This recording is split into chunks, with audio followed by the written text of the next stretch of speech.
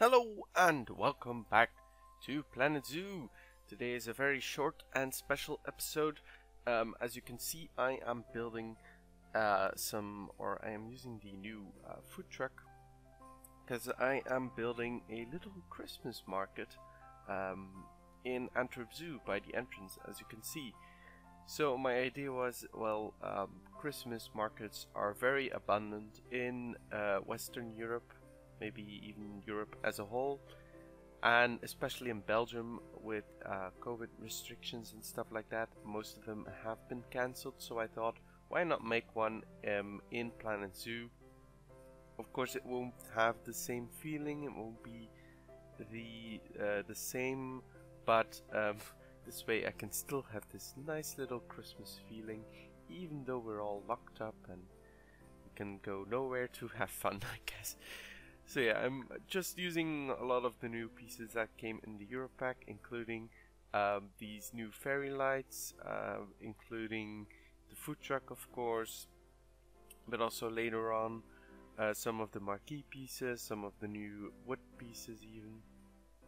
And the uh, idea was to have like a food truck that is basically uh, a friture, as we call it, which is basically like a giant uh, frying pan or something on wheels where you can get uh, fries and stuff and uh, snacks and everything. It's very, it's typically Belgium. I think it even is recognized as like cultural heritage or something in our country, and we're very protective about it. But here I put some of, I put like a little Christmas um, market stand uh, nothing too like difficult. Like I didn't go into that much detail. Uh, for example, I didn't really make any shelves with stuff they sell or anything. I just put uh, some socks on the wall there because um, I I really didn't have that much time to make this. Uh, I was in a I, I'm in a bunch of other different projects uh, at the moment. Uh, you probably saw the live stream uh, Nicholas Linewriter did uh, by the time this comes out probably two days ago. Yeah but uh, so it was in that project uh, collaboration zoo that we did. Uh, so that took is taking some of my time. Then I'm also making all of the JWE2 dinosaurs into Planet Zoo mods which takes quite some time. Um, but I very much enjoy that because this game could use with some different kind of zoos. Uh, not every zoo should have animals. We should have some, like, maybe even theme parks, maybe even dinosaur parks. So I'm very excited to see whether people will start uh, doing that. Um, what else? Of course, Christmas is coming, so very busy with Christmas stuff. Um, Spider-Man came out, so that took some attention and time away from me absolutely love the movie. Uh, I even think it's the best Marvel movie that came out in like ever. uh, yeah, that's some stuff that was on my mind. Um, and there's some other stuff I'm working on right, right now. Uh, I'm working on a modding wiki. So basically a wiki that has tutorials for modding and stuff if you want to get into that. The idea is to get as many people or as many like established modders who know stuff uh, as possible to make some articles on there uh, on more advanced stuff like asset transplants and uh, scenery modding and stuff like that. Um, basically to have a library of knowledge uh, that we can fall back onto if uh, if we need to and stuff like that. Because even advanced or experienced modders sometimes have to ask for help uh, from other people. Like I will know something that someone else won't know, and they will something know something I don't know.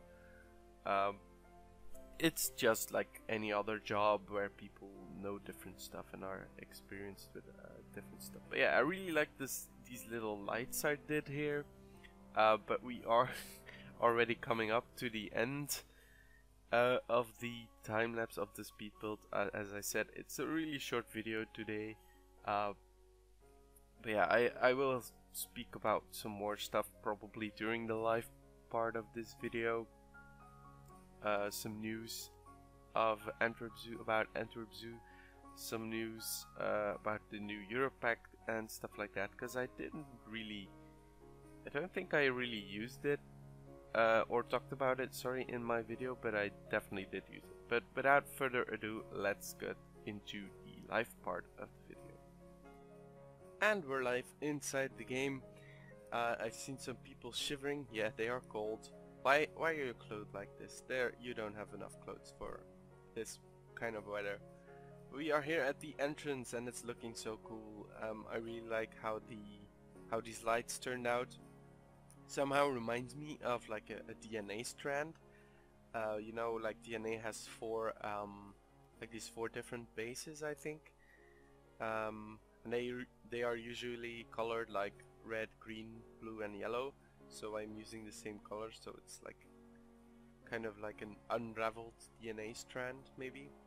But yeah, I really like these new uh, Christmas uh, decorative pieces here. I know we'll only like use sorry. I know we'll only like use them around this time of year but nonetheless I really really like them. Some people like it to be Christmas all year so I so there's probably some people that are gonna continue using them. Then we come in here and we have our nice little Christmas tree uh, with a nice little star on top there. I don't know there's like an official name for that I think. But I don't know it in English. We have our little gifts underneath here uh, that are currently getting snowed under, unfortunately. Yeah, then we have our uh, little Christmas markets with, with our uh, little Christmas stands here, or market stall stalls. So yeah, I really like how they now added these counters, um, which allows us to basically make these kinds of things. Uh, what else? Uh, looks like this one is probably not connected to the path. But yeah, I kind of had to delete some path here. Um, and there's like no Christmas markets on or uh, stalls on this side. Uh, or facing that side, um, neither on this side. So yeah, you really have to go through the middle here. If you want to enjoy this Christmas market. Yeah, I don't know if, if Antwerp Zoo ever has ever done this. I don't think so because this square hasn't been open for that long yet, but it would be amazing if they actually did like a full-on Christmas market on their entrance square. Because they have, they do have enough space to do something like this, I think.